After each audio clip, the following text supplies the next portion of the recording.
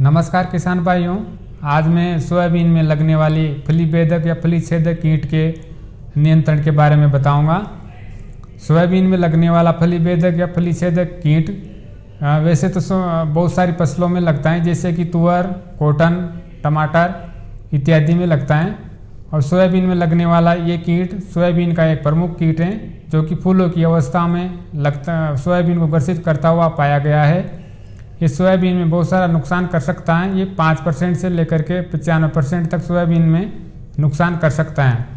ये एकल रूप से सोयाबीन की फ़सल में नरम फूलों, कलियों इत्यादि में अपना अंडा देती हैं और तीन से पाँच दिन में ये अंडे लार्वा में परिवर्तित हो जाते हैं। लार्वा लगभग पंद्रह से बीस दिन की तक रहती हैं। इसके बाद इस संकी में परिवर्तित हो जाती हैं और इसकी संख्या आठ से दस दिन तक रहती आठ से दस दिन के बाद ये वयस्क पतंगे में परिवर्तित हो जाती हैं। अब इसका इस, ये सोयाबीन में किस तरह से नुकसान करता है, इसके बारे में आपको बताऊँगा। सोयाबीन में ये फूलों फलियों, नरम कलियों इत्यादि को खाता है, जिससे कि अफलन की समस्याएँ पैदा होती हैं। अब अफलन की समस्या से निजात पाने के लिए आप इसका इसका नियंत्रण करना बहुत ज़रूरी है।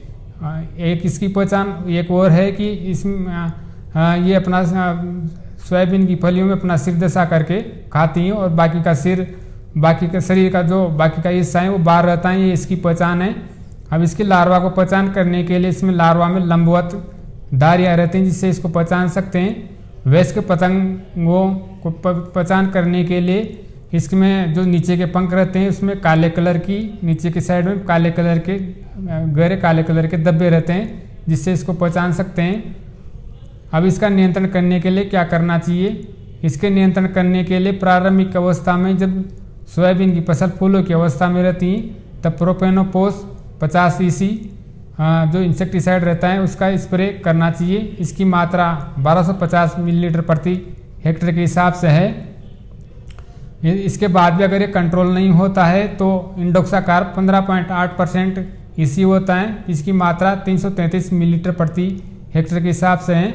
या फिर अगर ये इंसेक्टिसाइड ना मिले तो फ्लूबेंडियम माइड उनतालीस पॉइंट तीन पैंतीस परसेंट एस या क्लोरिन ट्रेनलीप्रोल 18.5 परसेंट एस का 150 मिलीलीटर प्रति हेक्टेयर के हिसाब से स्प्रे करना चाहिए।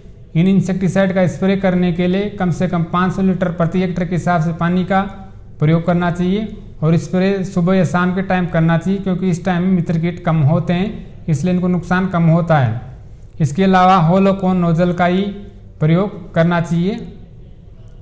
अब सोयाबीन में लगने वाले फली बेदक या छेदक कीट का जैविक नियंत्रण करने के लिए आप फिरोमोन ट्रेप्स का भी उपयोग कर सकते हैं, या न्यूक्लियर पोलिहाइड्रोसिस वायरस जो हेलिकोवर्पा आर्मीजरा विशिष्ट होता है उसका प्रयोग किया जा सकता है।